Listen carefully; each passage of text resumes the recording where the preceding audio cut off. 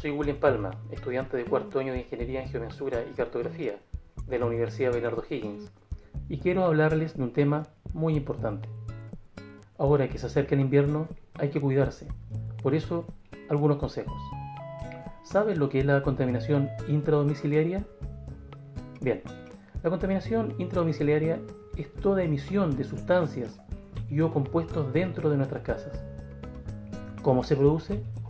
La contaminación al interior de los hogares se produce por la emisión contaminante de las calefacciones, sean estufas a parafina, a leña o a carbón. También puede provenir de las emisiones de las cocinas domésticas. U otro componente es el abuso del cigarrillo en ambientes cerrados o con muy poca ventilación. Está también la distribución y uso de combustibles domiciliarios que presentan emisiones atmosféricas como es el caso de la leña, el gas o el carbón.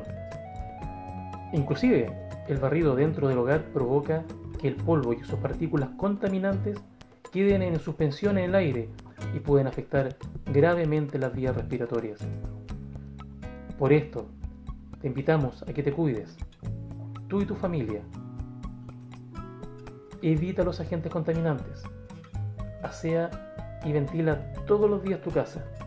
Ahora más que nunca, con la aparición más evidente de los virus estacionales como el sincicial, el de la influenza y el COVID-19, evitemos agravar los problemas respiratorios.